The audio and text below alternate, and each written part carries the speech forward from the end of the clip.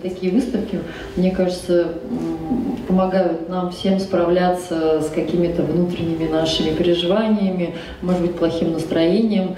И э, пусть это будет единственное ограничение для нас всех сейчас и в будущем.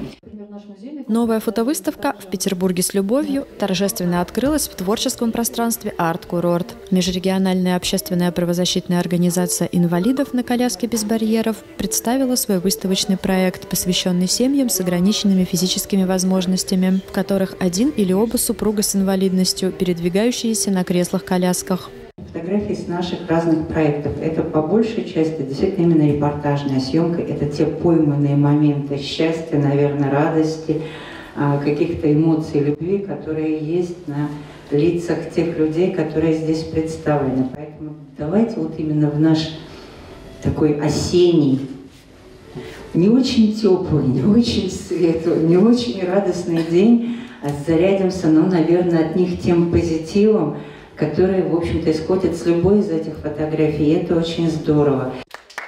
Цель фотовыставки – показать реальные вдохновляющие истории семей инвалидов-колясочников, ведущих полноценную счастливую жизнь, моменты которой запечатлены на фото, представленных сегодня на экспозиции. Эти весьма важные темы находят поддержку в курортном районе. Историко-культурный музейный комплекс в Разливе принимает маломобильные группы населения и сотрудничает с правозащитной организацией инвалидов на коляске без барьеров с целью повышения качества жизни людей с ограниченными физическими возможностями. Сегодня мы открываем очень добрую, очень нежную и э, актуальную э, выставку в преддверии праздника, который отмечается 3 декабря. Э, посвященный людям с инвалидностью. Но, глядя на эти фотографии, задумываться об инвалидности этих людей не приходится. Настолько яркие, сочные, интересные локации. Мы видим, что эти съемки сделаны во время каких-то мероприятий, что многие из этих людей являются артистами, выступают на постоянной основе. Многие занимаются спортом и достигают определенных вершин. И фотографии этих людей есть на этой выставке. Фотовыставку сегодня также посетили официальные лица. Подобные экспозиции в выставочном зале «Арт-курорт» неоднократно проходили и раньше. Сегодня было справедливо констатировано, что и сам Сестрорецк меняется, становясь более доступным для граждан данной категории.